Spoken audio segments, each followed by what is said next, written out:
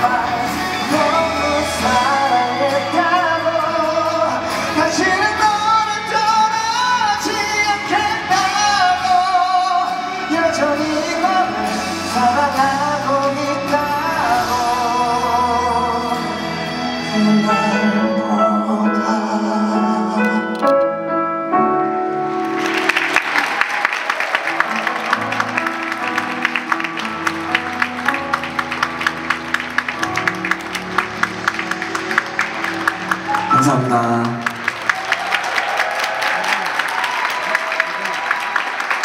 네, 추억은 만남보다 이별에 남아라는 곡이었고요. 어, 계속해서 다음 곡을 들려드릴게요. 어, 원래는 마지막 곡이라고 생각을 하고 예, 지금 예, 준비를 했었거든요.